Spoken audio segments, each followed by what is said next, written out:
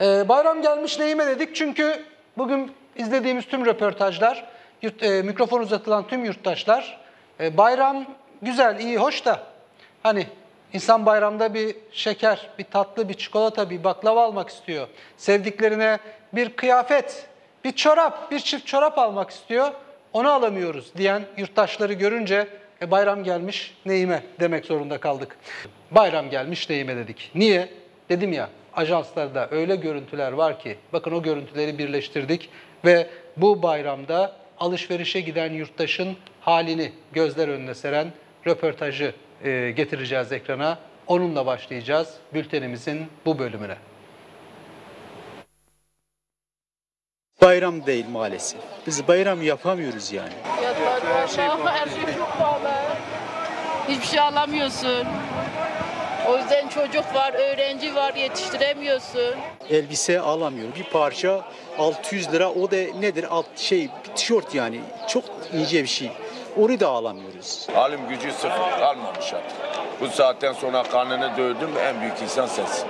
O da ancak kendi karnını doyurabilirsin. ikincisinin değil. Hem yurttaş hem esnaf fiyatlardan şikayetçi. Bayramda ikramlık almak ya da çocuklarına bir bayram kıyafeti almak için alışverişe çıkanlar büyük hüsran yaşıyor. Bayram alışverişine çıktınız mı? Çıktık ama alamadık bak. iki çorap aldık. Ancak o kadar. Bunu alabildik. Valla çok pahalı. Yeni alıyoruz. En kötü şeker 100 lira şimdi. Fiyatlar her şeye bağlı. Bu şekerin kilosu 160 lira olmuş. 100 lira, 30 lira, 40 lira almış. Şimdi 160 lira. Ben doğudan buraya çalışmaya gelmişim. Maalesef biz bayram yapamıyoruz. Yalnızca bayram alışverişinde değil, günlük yaşamlarında ekonomik sorunlarla boğuşan yurttaş ne yapacağını şaşırmış durumda. Emekliyim. Magazim 10 lira. Ha, neyle geçineceğim 10 lirayla? Ben inşaatçıyım. Ben çok zor durumdayım. Ben değil, doğrusu vatandaş zor durumda. Biz ne yapacağız biz de şaşırmışız. Vatandaşın alım gücü düşük ki bak şimdi şöyle çarşıya bak birinin elinde bir poşet var mı? Yok ki. Neyle alacak? Bak bayram gelmiş en ufak bir ailenin, dört kişilik bir ailenin giyimi sadece 10 bin TL. Asgari ücret alan adam neyle alacak? Alım gücü bayağı zayıf. İnsanlar zor durumda. Piyasa Allah bullak. Fiyatlar akıllara zarar. Bu şeyde bir şeyler almak artık hayal. Ne ev alabilirsin ne araba alabilirsin sadece günlük yaşıyorsun.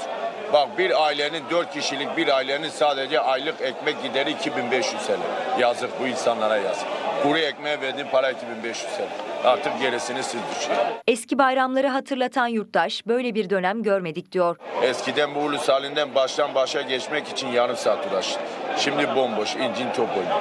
Alım gücü sıfır, kalmamış artık. Ya alıyorduk önceden. Yine bu para kıymetli diyor. Ha şimdi altın sordum. Çeyrek altın. 4 milyon 350 lira. Eski Ramazanlarda biz bura kalabalıktan geçilmiyordu alışveriş yapanlar. Şimdi kuru kalabalık. Millet dolaşmaya gelmiş. Eskiden bir marketten ya da iki marketten alışveriş yap. Şimdi millet dolaşıyor. 10 tane market dolaşıyor. Hangisi ucuzsa, hangisi cebine uygunsa oradan alışveriş yapıyor. Eskiden mesela ben 600 liraya çalışıyordum. Bayram alışverişi yapıyordum. Çocuklarım için harcama yapıyordum.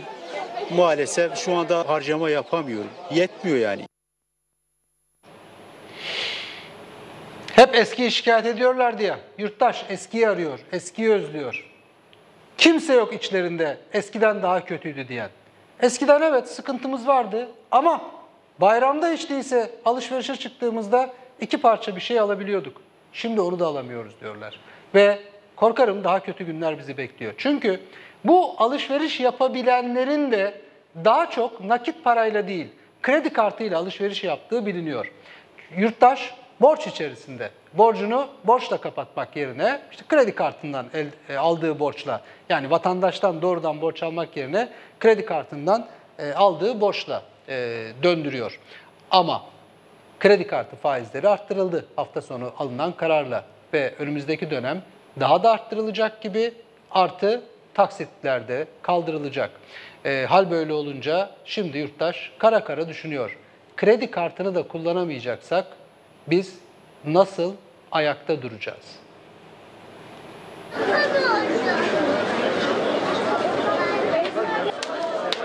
Erzurum var, Kaşkaşarı var.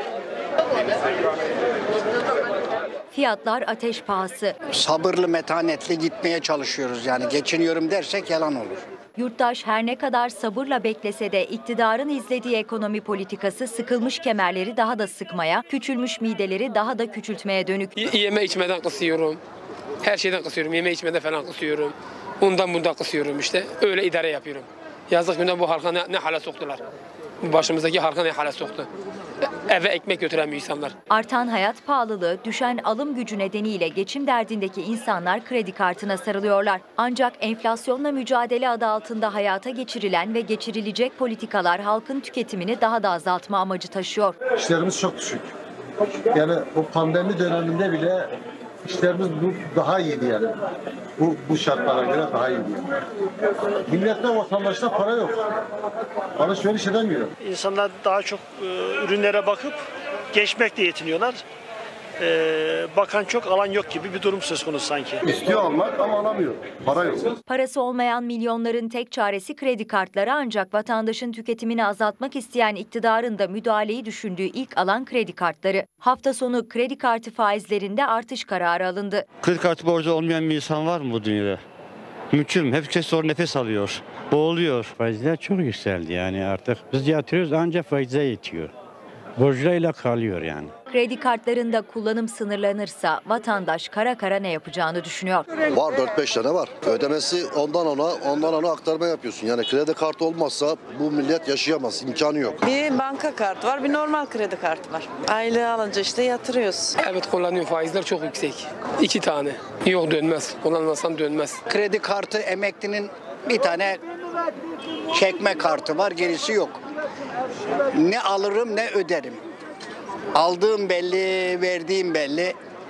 Hop taralelli yani. Bu işler hep böyle gidiyor yani. Zor şeyler. Sıkışıyoruz tabii. Ya bu ucuzluğa yap- bir şey demeleri lazım. Böyle bu gitmez buraya kadar ya.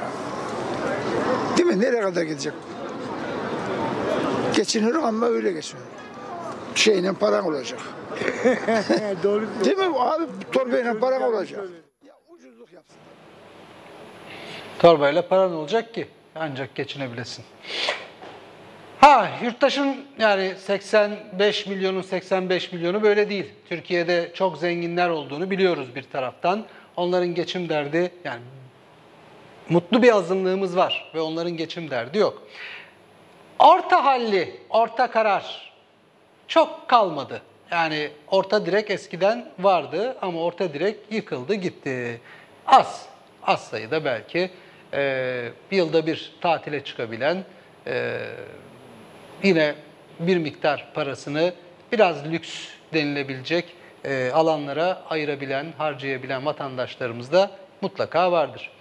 Yunan adaları mesela müthiş ilgi çekti. Evet, bu vize kapsamında, Yunanistan'la yapılan anlaşma kapsamında e, Ayvalık Deniz Hudut Kapısı'nda bugün müthiş bir kuyruk vardı. O kuyruğa girenler bir taraftan bayram tatillerini Yunan adasında geçirmek isterken diğer taraftan Türkiye'deki pahalılığa da aslında gönderme yapıyorlar ve yurt dışındaki alışverişin Türkiye'den daha ucuz olduğunu söylüyorlar.